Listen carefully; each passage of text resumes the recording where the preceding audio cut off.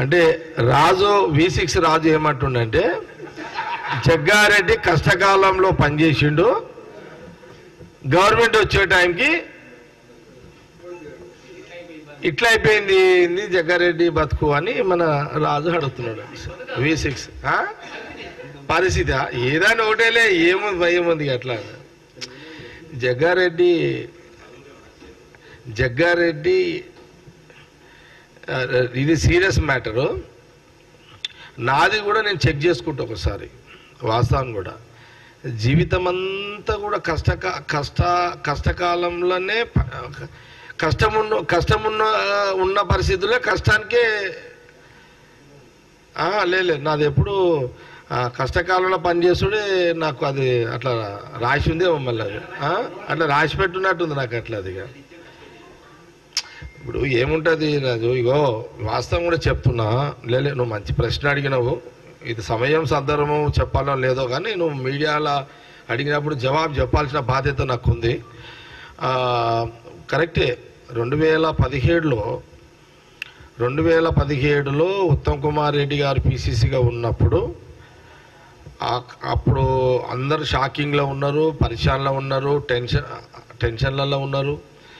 ఆ టైంలో ఉత్తమ్ కుమార్ రెడ్డి గారు నాకు పిలిపించుకొని ఆయన్ని అడిగాడు జగన్ రాహుల్ గాంధీ గారు సభ పెట్టాలి అటు గవర్నమెంట్ వాళ్ళు ఉన్నారు ఇప్పటికే మూడేళ్ళు అయిపోయింది ఏదో చేయాలి మనం పార్టీని జోష్కి తీసుకురావాలి క్యాడర్ని జోష్కి తీసుకురావాలి మన లీడర్లు కూడా బయటికి వెళ్ళాలి ఇదంతా జరగాలి. రాహుల్ గాంధీ గారి యొక్క సభ ఏర్పాట్లు నువ్వు చెయ్యాలి. ఈ నువ్వు నాకు తెలుసు ఆర్థికంగా నువ్వు ఇబ్బందులలో ఉన్నావు అందరము ఇబ్బందులలో ఉన్నాము.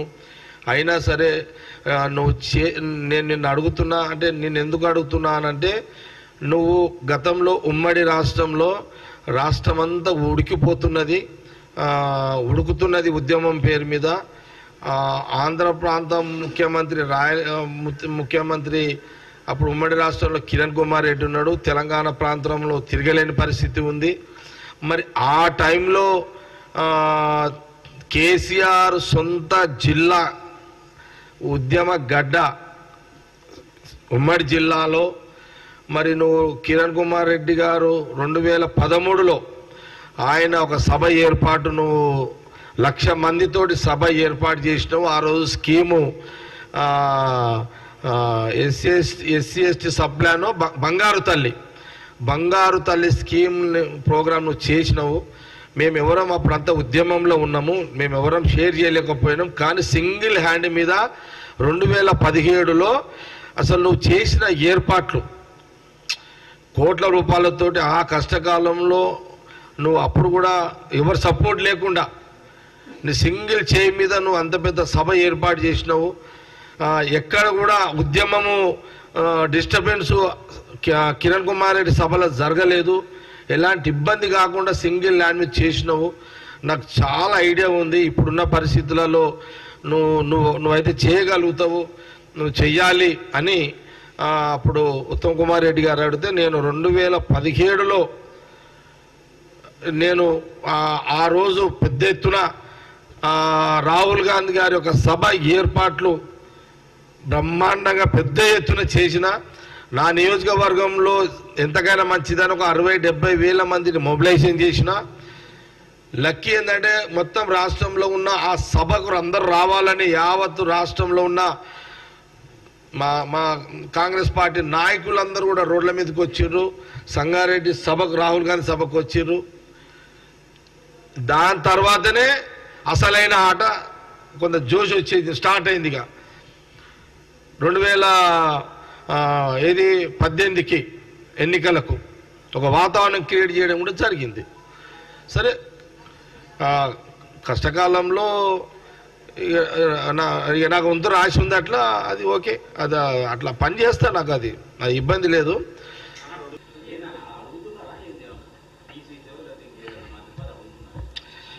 రాజు మీ అందరు కూడా తెలుసు కదా నేను దగ్గర దగ్గర ఐదేళ్ళ నుంచి పీసీసీ కావాలని అడుగుతూనే ఉన్నా నేను. కొత్తగా అడిగేది ఏముంది ఇంకా?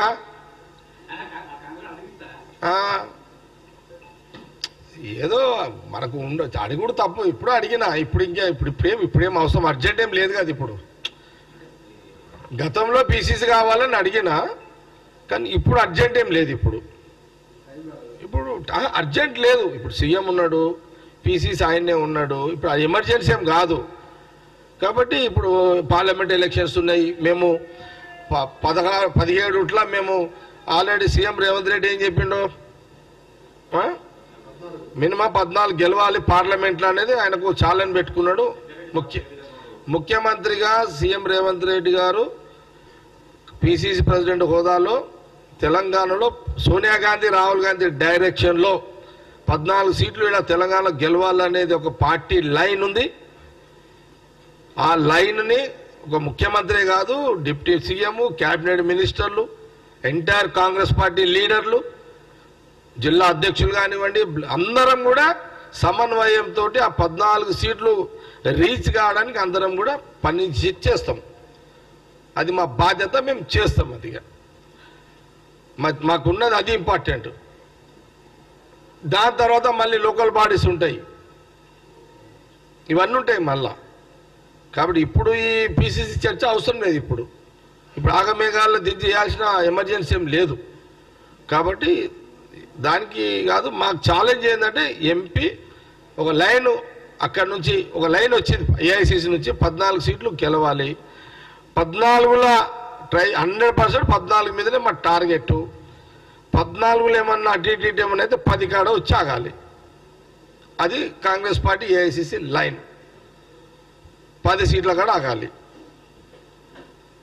తెలంగాణ ప్రజలకు మేము అదే అప్పీల్ చేస్తున్నాము. రాహుల్ గాంధీ గారి నాయకత్వాన్ని బలపరుస్తూ ఆయన భవిష్యత్తు ఈ రానున్న ఎన్నికల్లో ఆయన ప్రధానమంత్రి కావడానికి తెలంగాణ నుంచి ఒక పద్నాలుగు మంది ఎంపీలను ఇవ్వండి కాంగ్రెస్ పార్టీకని గాంధీ భవన్లో మీడియా పక్షాన తెలంగాణ ప్రజలందరినీ కూడా కోరుకుంటున్నాం కోరుతున్నాం